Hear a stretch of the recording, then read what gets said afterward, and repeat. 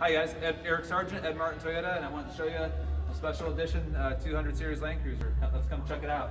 All right, so we actually haven't done any kind of um, uh, any suspension work at all on the car. Uh, it's got the stock spring, stock suspension system, but there's a lot of electrical upgrades and some stuff that is new to us that we haven't done before. So I'm gonna start by uh, showing you the compressor. We have an ARB twin air compressor mounted on a Slee uh, twin air compressor tray right here.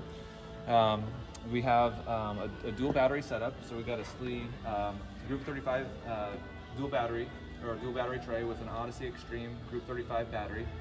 Um, that's being connected to the crank battery with a Redarc uh, DC-DC. It's the, uh, the BCDC 1240D. and we have that mounted right here with a custom mount. Right next to that, next to the battery. Um, as you can see, the fuses are here. Um, the um, they're connected, um, everything's uh, switched with an ARB link system, which we'll get into in just a few minutes. Um, underneath the hood, we have uh, a new feature that we kind of added to the portfolio recently, and this is the um, the hood the hood lights. And so there's a little switch that's mounted uh, right here. And so you, up is the white lights, middle is off, down is red lights, and then they are of course um, uh, triggered right here with a pin switch. So once you shut the hood, if you accidentally left the lights on, then the lights are going to shut off. Shut that off. Again, the compressor switch with an ARB Linx. We'll show that in just a second. There is uh, some rock lights that are installed. So when the doors are open, uh, when the doors are open, uh, the lights will turn on. When the doors are shut or the car is locked, they'll shut off. Um, on the inside, um, we got a something that looks like a phone that's connected to the sunglasses holder. Um, and that's actually the ARB link system an accessory mode here. so this is connected with a magnet. So you can, if you were uh, using the, say you were, you bought the accessory to pump up the car or bump up the, the tires, um, you can do it, you can bring this around there with you and adjust the PSI accordingly. Um, so again, just clips up there with a magnet. We custom made a mount, a little bracket here out of PVC, filed down the plastic that's on here and then put a PVC thing behind it and then uh, integrate the magnet so that it's secured secured properly. Um, this is basically the ARB Linx if you haven't seen it before. It's basically just an Android phone, um, some kind of a inexpensive Android phone that ARB designed. And then they have the, the holder in the back of it that clips to the magnet right there. I'll go ahead and plug it back in here.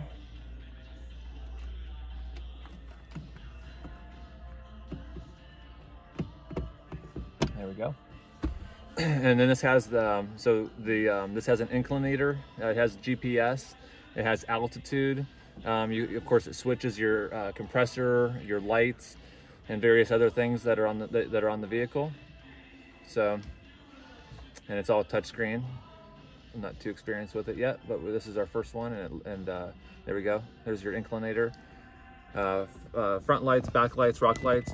Those are all uh, wired for future accessories. So we've got them triggered into the reverse lights, into the into the into the ARB link system, and they're pre-wired with a Deutsch connector up front, and then um, and secured uh, down uh, in the front of the grill.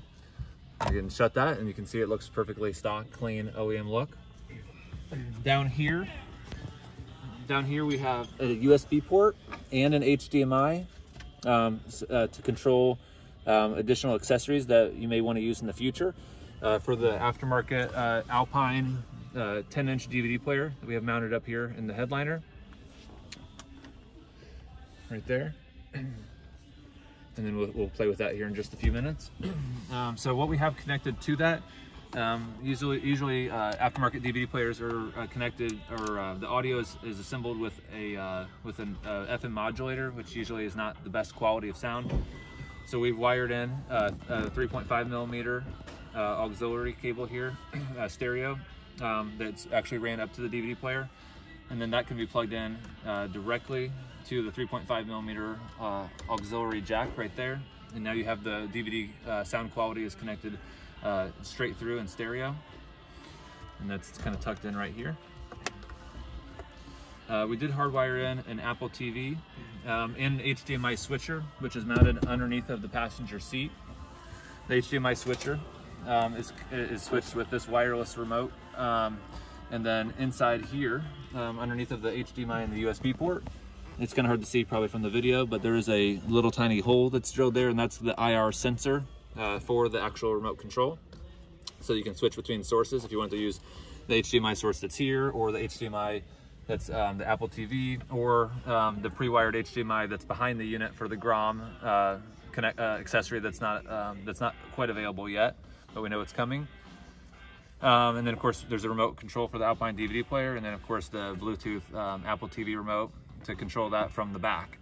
Another HDMI and USB port right here, and then a couple more uh, 4.4 amp USBs right there as well. And as you can see, here's the DVD player, and it's got the Apple TV source on on right now. And then I'll show you a couple things in the back real quick too. There we go. It's got to have it. So it, it's smart enough to know that it doesn't have enough voltage. So the compressor will not turn on with low voltage. So if the vehicle's not running, it's not going to let it turn on. Um, so now if we want to decrease, so now it'll actually, it'll go back down to 10 um, or all the way down to 5 Uh, you can go up to 90 PSI. Um, Five is the lowest. five is the lowest. Yep. So and it, and you can. So what I've done. Um,